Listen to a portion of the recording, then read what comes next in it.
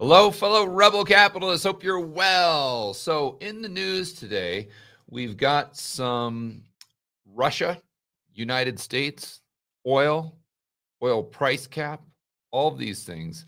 And then I want to explore an idea that is is pretty straightforward and obvious, but I haven't I was surprised when I read this article. I hadn't given it a lot of thought.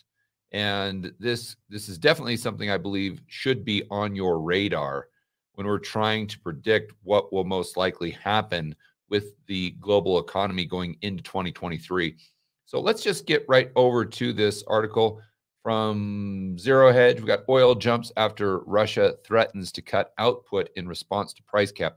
So I think what we're going to see, or what we could see moving into 2023, and maybe unfortunately into 2024, maybe 2025, is this kind of cold war between the West and Russia, maybe the BRIC countries, nations, in in in terms of using energy as a kind of a, a proxy war. So you've got uh, Russia saying, okay, well, we don't like what you're doing, so we're going to do X, Y, and Z to energy. And then the United States and the West is saying, well, Russia, we don't like what you're doing, so we're going to do A, B, and C. And it's just this, this, it's basically a pissing match and going back and forth and back and forth and back and forth. But unfortunately, what they're using is the most com- precious commodity that we have on the face of the earth. And this is oil, or maybe more broadly speaking, energy. So, right here, going back to this zero hedge article, so, kind of tit for tat here. The West comes out and says, okay, we'll do this price cap, which, as you guys know, is just completely ridiculous. But then Russia, they say, well, we got to do something. So, we're going to go ahead and push back and we're going to reduce output by 500,000 barrels a day to 700,000 barrels a day in response to the cap. And this is what Deputy Prime Minister Alexander Novak is saying, according to their state run kind of news agency. It's called TASS. So, according to TASS, they're quoting this uh, Deputy Prime Minister guy, and he's saying that he's speaking on behalf of the Kremlin that in response to this ridiculous price cap from the West, they're going to reduce output by 500 to 700,000 barrels a day. While not formalized, okay, well, I guess President Putin uh, needs to sign it to make it actual law. Uh, a risk on sentiment and weaker dollar helping the price of oil. So this is one thing that I want to explore here in this video. It's very, very, very important, and I, am I'm, I'm actually surprised that I haven't uh, done like a whiteboard video on this topic specifically, but maybe next week that would be a good thing to discuss. So, of course, as the war grinds on, traders have been waiting for Moscow full response to the cap, a policy that imposed $60 a barrel ceiling on Russian crude. Uh, of course, they're just going to sell it to someone else. I, I always use the example of you going down to your local gas station where gas is four dollars a gallon and saying, "Well, I'm I'm not willing to pay more than three. Okay, good luck with that. And so that's kind of what we're doing. I think mostly this is political theater, in my opinion. But unfortunately, this political theater has costs. And as you guys know from watching my video, the people that are going to bear those costs most likely are going to be the poor and middle class. Speak and speaking of prices, uh, WTI rose more than two dollars on the news, while Brent above 83, despite pervasive global recession fears. Yeah, so this is kind of the back and forth that's going on in the oil market right now at the price. Uh, you definitely have supply constraints, but then people are looking at the demand side of the equation and saying, well, okay, how much is demand going to go down? And how much is that going to impact the price if we do go into a significant recession in 2023? Keeping in demand, uh, keeping in mind that uh, demand for energy obviously is far more inelastic than demand for other products. So my point in bringing up this article, now we're talking about Biden and the politically mandated SBR SPR drain. They're doing that to try to bring prices down, um, buying votes, basically what that amounts to, and at the expense of putting us in what could be a compromising position if we were to engage with uh, Russia. Obviously, hopefully we don't, or we could have some sort of other crisis situation. Doesn't necessarily have to be World War III where we would need this SPR. So they're putting it, they've put us in a precarious position. I think you guys know that.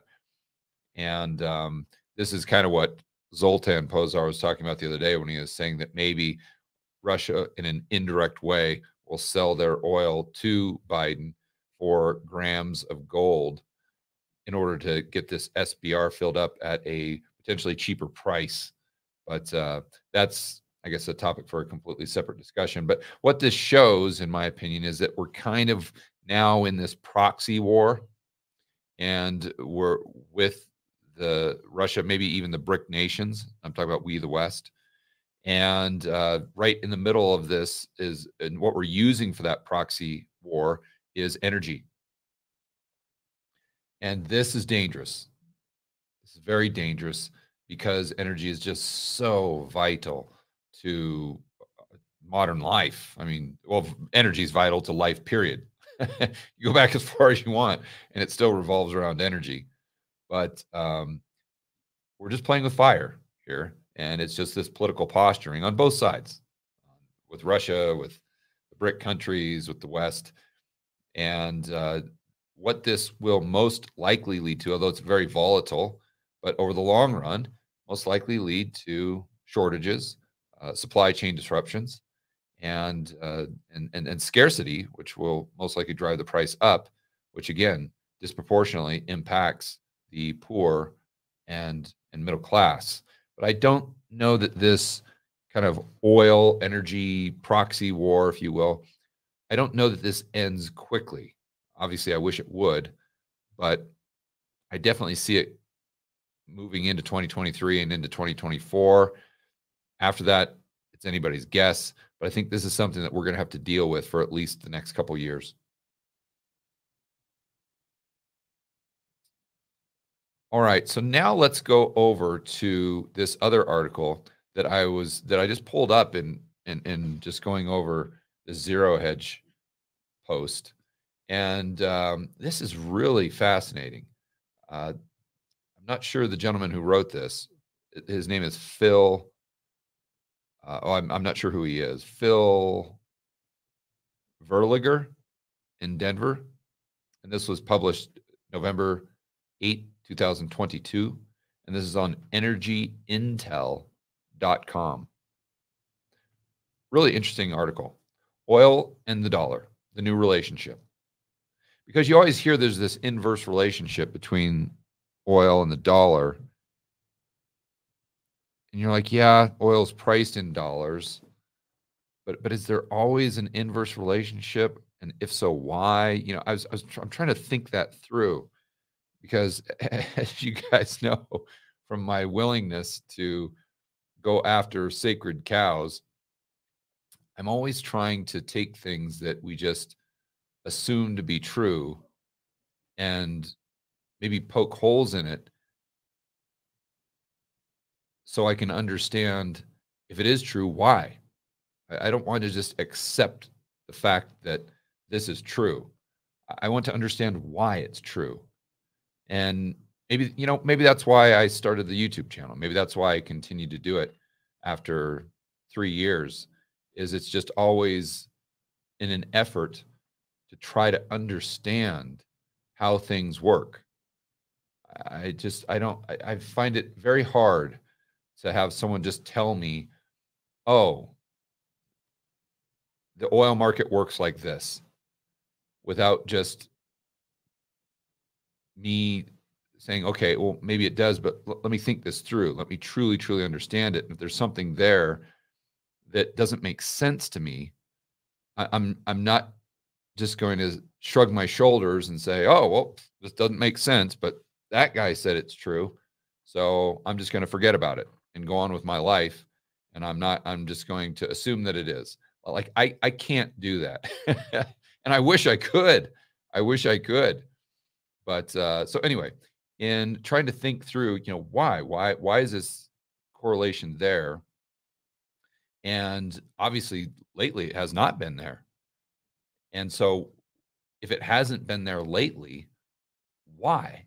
And and what changed and what impact does that have on maybe the global economy going into 2023? So, uh, today's rising oil prices, now I'm reading the article. Today's today rising oil prices are associated with a strengthening dollar, whereas rising oil prices once caused the dollar's exchange rate to decline. Rise rising see and I don't I I need to really that's what I need to dig into deeper. But anyway, I don't want to get stuck on that in this article. Rising U.S. oil, nat gas, food exports, as well as market disruptions caused by the war in Ukraine explain the change in the fundamental linkage. Oh, yeah. Okay. Let's keep going here. Not sure I fully agree with that, but uh, the consequences for countries that depend on imports, food, energy, as well as nations that rely primarily on oil and gas exports could be profound. this is where I agree completely, completely agree with this. So let me just read that one more time here.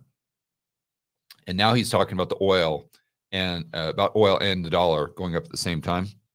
The consequences for countries that depend on imports for food and energy, i.e., you have to settle with dollars, as well as nations that rely primarily on oil and gas exports, could be profound. Yeah. So then he shows this chart of uh, let's see the BIS. Oh, this is from the okay Bank of International Settlements. U.S. dollar exchange rate dated Brent price from 2009 to 2021. So it looks like the uh, trend is oh 2009 to 2016. Oh, I get it. So this is the correlation that we saw between 2009 and 2016 and then how that correlation broke and i'm talking about the inverse correlation between the price of oil and uh, uh, and the dollar on as measured by the dxy and then now we see that uh, correlation break here in 2021 and 2022 that's basically what this chart is telling us.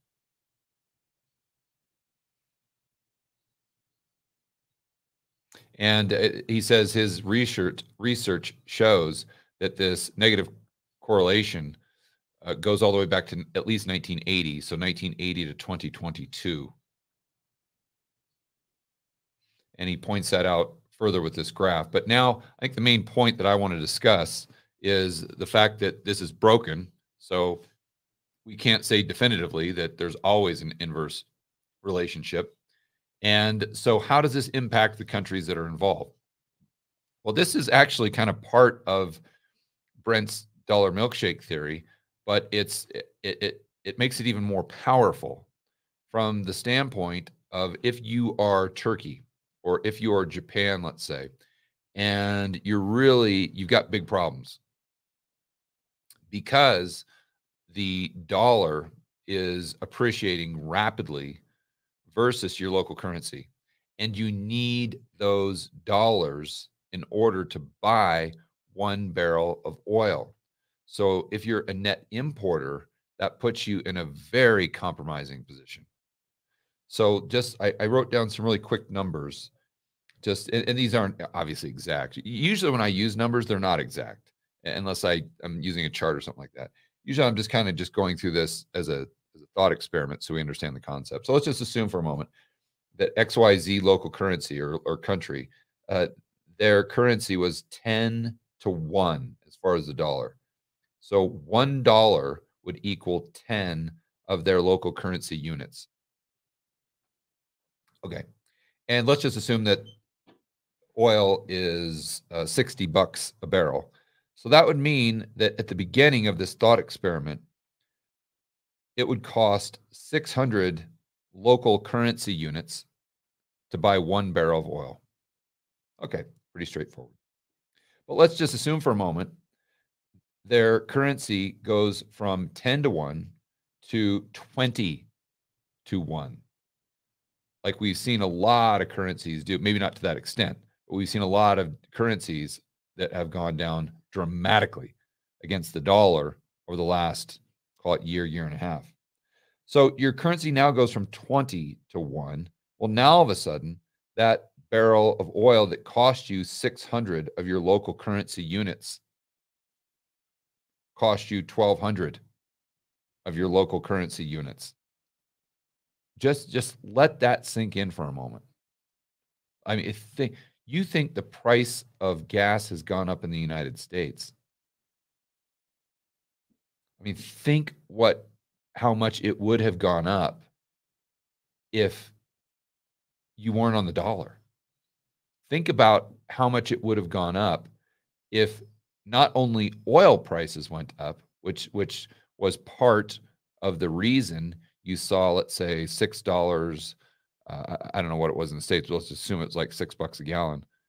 But just think, in addition to that, if your local currency was not dollars, and your local currency depreciated by fifty percent, in addition to the price of oil going up to whatever 100 bucks a barrel. You see, so go, getting back to our little thought experiment here. So now in this example, oil costs you 1200 of your local currency units instead of 600, but that doesn't factor in the price of oil itself denominated in dollars actually going up. So my point is you can see how very quickly you could go from 600 of your local currency units for one barrel of oil to 1200 to 2000 to 3000 yeah who knows? Base uh, you could if the oil goes from 50 bucks a barrel up to 120 i mean wow. And then we understand that that energy is the economy.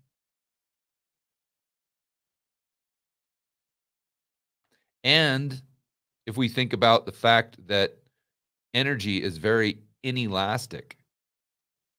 Think about how much you'd have to rob Peter to pay Paul. So let me put this in terms that we can all understand in the United States. Let's just assume for a moment that you can buy a gallon of gas for three bucks. Okay. Well, now let's assume that that gallon of gas goes to six bucks. Think about how much, especially if you're like a truck driver, or you know, this this this is an input cost for pretty much everything that you buy. You go down to your local grocery store. Well, one of the input costs for pretty much everything you see there on the shelf is going to be gasoline or diesel. So that price doubles. So that truck driver can't just say, oh, no, I, am going to reduce my usage of diesel. no, that's very inelastic. So they're going to have to either raise their prices or they're going to have to not spend money on something else. You know, like that truck driver, an example, saying, okay, I'm not going to service my truck because I can't afford to service my truck anymore because I've got to take all that money and allocate it to fuel. Or before I didn't have to do that. Okay. So then what does that happen to the money that's going to the truck repair guy or the maintenance? Now they don't get the money. They don't have the purchasing power. Now then they have to sacrifice. They have to lay off workers. You, you see how this gets very, very complicated. And that's with gas going from three to six. Now let's assume for a moment that you're not on the dollar. And it doesn't go from three to six, it goes from three to 12 within a span of, call it six months. I mean, just just think about the economic devastation that would cause for an economy. And so we as Americans, when you look at Turkey or you look at Sri Lanka or you look at all the, it, it kind of just doesn't make sense because you see it from a distance. But when you think about it in these terms and apply the numbers to your to your own country, I, I think you start to say, "Oh wow, okay, now I get it. Now I understand what's going on in Turkey. Now I understand the social unrest. Now I understand the riots in the streets. And what does that do for the global economy? Obviously, that decreases global economic output. And then what, what does that do to the dollars, the amount of dollars that are in the system being created by the euro dollar system? Does that do to dollar liquidity? What does that do to the velocity of dollars circulating throughout the global economy? Goes down. So then what does that do to your ability to service your dollar denominated debt? See? This is obviously that that's that's Brent's take, but I think if you take an even more holistic view, or if you kind of zoom out even further to include oil, you you start to see okay, um, obviously no certainties, only probabilities, but you see how there's how the dollar unbelievably and counterintuitively could have some significant tailwind uh, behind it going into 2023. And this doesn't mean that it goes up. It just means that it might have a tailwind. Then the question becomes, okay, what's going on with interest rate differentials? And then you could layer on another variable, and another variable, and another variable, and another variable. And then you quickly start to realize why predicting which way currency will go, at least in the short term, is very, very difficult. But just because it's difficult, I don't think it means that we shouldn't even try or that we shouldn't even allocate mental bandwidth to trying to figure out a base case so you can layer that over your investment strategy or your view of what 2023 will most likely look like.